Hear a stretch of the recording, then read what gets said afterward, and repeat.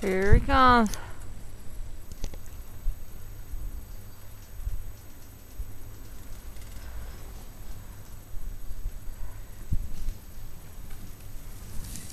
Well, he's in the green.